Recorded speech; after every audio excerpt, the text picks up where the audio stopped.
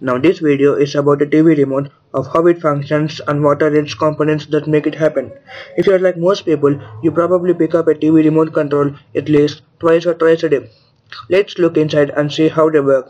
The remote control's job is to wait for you to press a key and then to translate the key press into infrared light signals that are received by the TV.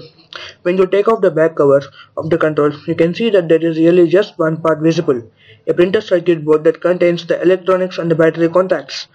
The components that you see here are typical for most remotes. You can see an integrated circuit, also known as a chip, labeled TA11835.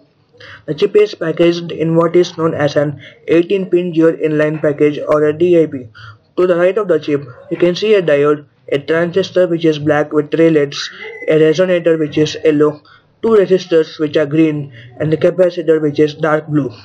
Next to the battery contacts, there is a resistor which is green and the capacitor which is like a tan disc.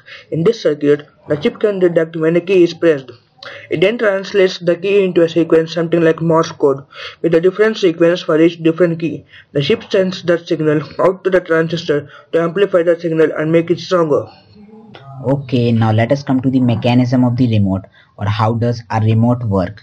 So when you unscrew the circuit board and take it out, you can see that the circuit board is a thin piece of fiberglass that has thin copper wires etched onto its surface Electronic parts are assembled on printed circuit boards because they are easy to mass produce and assemble.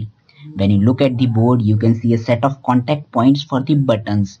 The buttons themselves are made of a thin rubbery sheet. For each button, there is a black conductive disc. When the disc touches the contact points on the printed circuit board, it connects them and the chip can sense that connection. So at the end of the circuit board, there is an infrared LED or light emitting diode. You can think of an LED as a small light bulb.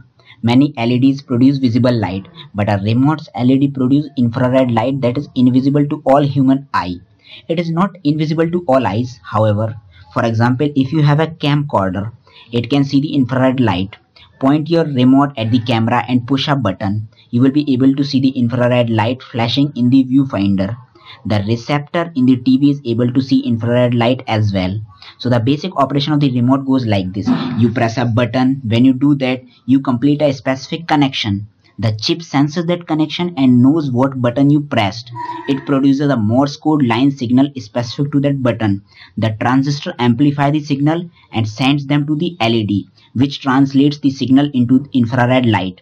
The sensor in the TV can see the infrared light and seeing the signal reacts, reacts appropriately. Okay, thank you.